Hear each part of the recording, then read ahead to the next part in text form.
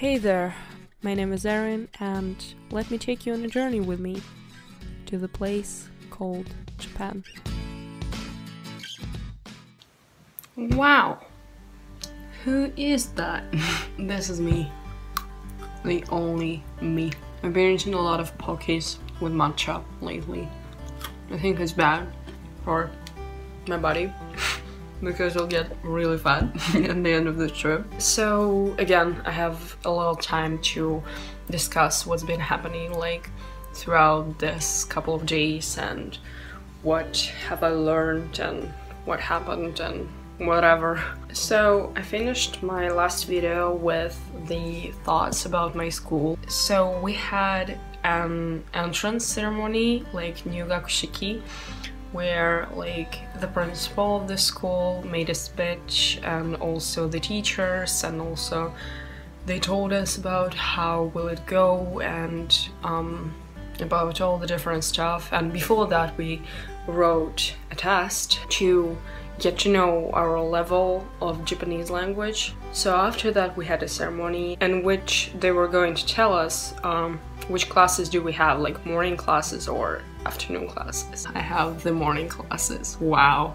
Congratulations to me, like waking up 6.30 every morning. it's not that bad by the way, like uh, it's hard going through like the rush hours in public transport um, it's like the first day was really harsh for me and I couldn't like exit at the station I wanted to exit because the train was so so like by Condeiros or It was very, very crowded and eventually I got out. And then the next day it was raining like it is now. And because of that, somehow my train just didn't arrive at the station at all. So it just it just didn't arrive, so I had to pick another one. And when I was going to another one, it was like different station I have never been to and um I was quite confused where to go and where is my exit that I needed.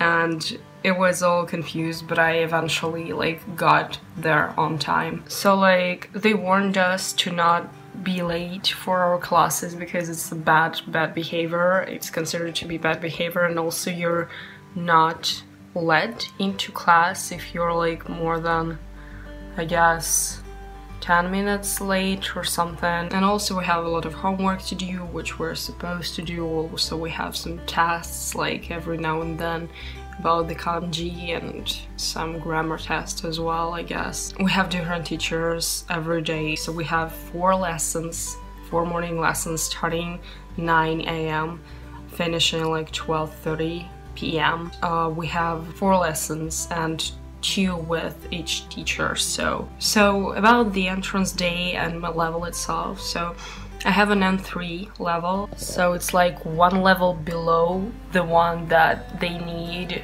um, at work usually. So if I would like to get a job related to Japanese language, I would need N2, which is higher than N3, and I have N3 right now. And about the entrance day and the test day, I've made a new friend.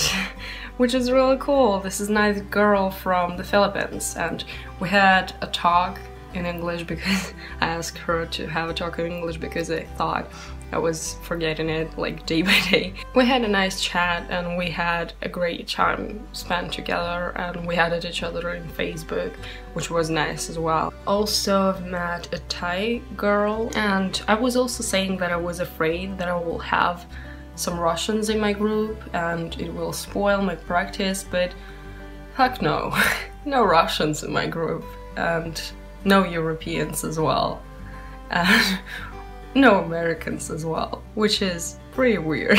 we have a couple of guys from Nepal, we have a couple of people from Sri Lanka, we have a couple of girls from China, we also have Indonesia, Thai, Vietnam, oh and the Philippines, yeah, of course. It's so intercultural and so international, but they all happen to be like really nice people and really funny as well, so the yesterday was quite tough because it was the first day and today it was, it became a little better because we switched like partners a lot, so I got to know a little bit about them all and now it's like getting better and better I guess. And also me and my Russian friend we've gone to the Imperial Gardens which was really cool and nice and beautiful. We took a lot of pictures in there. We walked across the gardens together and also after that we went to the Ikebukuro Tokyu hands and I bought myself a nice bento in there which is really cool. It has like the chopsticks and all together at once like two sections and it's not really big. This is exactly what I wanted. And we also have been walking across the streets a lot. I even didn't have enough time to do my homework yesterday. It was so bad. And now I think I'll finish doing my homework Japanese homework and after that we'll have a nice dinner and go to sleep. Oh my god, finally. And tomorrow we have a trip to Yokohama with our group of Russian people all together. Like my Russian friend will be there.